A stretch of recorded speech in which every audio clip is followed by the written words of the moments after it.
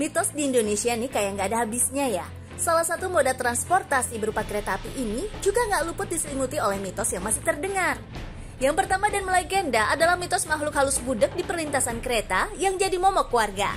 Konon, makhluk tersebut sering membuat masyarakat yang melintasi rel kereta jadi mendadak tuli alias budek, sehingga tidak menyadari ada kereta api yang sedang melaju kencang.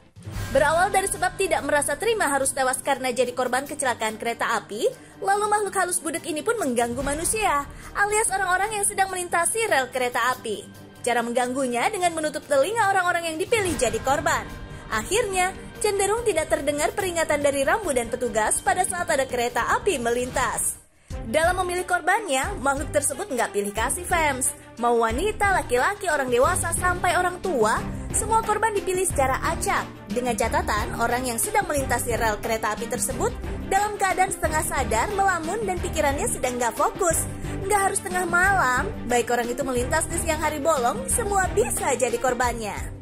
Mitos ini bisa kekal supaya orang-orang yang akan melintas di jalur kereta api selalu memfokuskan pikiran dan harus melindungi diri dengan banyak berdoa.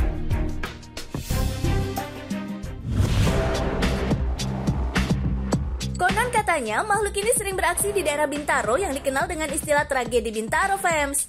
Pada tahun 1987, kecelakaan mengenaskan yang terjadi di perlintasan kereta api di daerah Pondok Betung yang merenggut sekitar 153 nyawa dan 300 lainnya luka parah. Praktis, tragedi ini jadi musibah yang tercatat sebagai kecelakaan paling buruk dalam sejarah perkereta apian Indonesia yang merenggut banyak nyawa. Saking menyeramkannya, peristiwa kelabu ini sempat dijadikan film layar lebar loh fans. Tapi, kenangan pahit bukanlah satu-satunya yang teringat di benak masyarakat Jakarta Selatan ketika membicarakan tentang tragedi Bintaro. Beberapa kisah menyeramkan yang jadi buntut kecelakaan tersebut masih marak diperbincangkan sampai sekarang. Saat maghrib menjelang, banyak warga yang sering mendengar tangisan anak-anak di sekitar perlintasan kereta api. Padahal tidak terlihat keberadaan anak-anak di area tersebut sama sekali. Suara mereka terdengar pilu, meminta tolong pada pejalan kaki agar dikeluarkan dari gerbong. Selain suara rintihan anak-anak, kisah seram dari tragedi Bintaro lainnya yang bikin bulu kuduk merinding adalah sosok makhluk halus bermata merah. Sosok menyeramkan ini sering menampakkan dirinya pada penumpang kereta yang melewati jalur Bintaro. Gak jarang, makhluk ini mengganggu pejalan kaki dan penumpang sampai menyebabkan kecelakaan.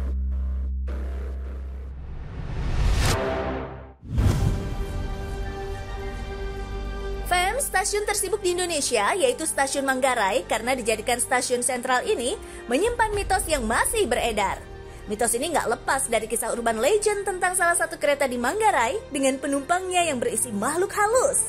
Kisah ini familiar bagi mereka yang kerap bepergian menggunakan kereta api yang dikenal dengan nama angker alias anak kereta. Mitos horor ini udah ramai diperbincangkan sejak bertahun-tahun loh, bahkan sampai dibuat filmnya juga, fans. Maklum, stasiun Manggarai jadi stasiun tertua yang berdiri sejak zaman Belanda sejak tahun 1914 loh. Nggak heran kalau banyak orang yang berspekulasi tentang kehororan stasiun ini karena udah melewati dari masa ke masa sejak zaman dulu. Kabarnya, seorang penjaga pintu perlintasan kereta api Bukit Duri, Jakarta Selatan pernah dikejutkan oleh suara sirine perlintasan kereta pada pukul 4 subuh FEMS. Beliau kaget karena jam operasional kereta seharusnya dimulai pukul 5 pagi. Belum selesai, nggak lama setelah bunyi sirene terdengar, tiba-tiba aja melintas empat buah gerbong kereta tanpa masinis dan penumpang di dalamnya. Yang mengherankan lagi, kereta api berjalan dalam keadaan gelap gulita tanpa ada satu penerangan apa pun yang dihidupkan. Ada juga cerita salah satu penumpang yang menceritakan bahwa dia menumpangi kereta yang seluruh penumpangnya bermuka pucat. Selain itu, para penumpang di kereta tersebut nggak ada yang berinteraksi satu sama lain fans. Karena pria tersebut merasa ada yang aneh, akhirnya dia memutuskan untuk turun.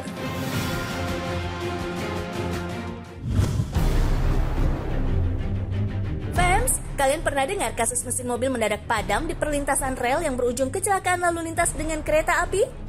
Bahkan gak jarang peristiwa ini turut memakan korban. Eits, tapi peristiwa ini gak ada hubungannya sama makhluk halus ya. Penyebab mesin mati mendadak saat melintas di perlintasan kereta ini bisa terjadi karena adanya medan magnet pada rel.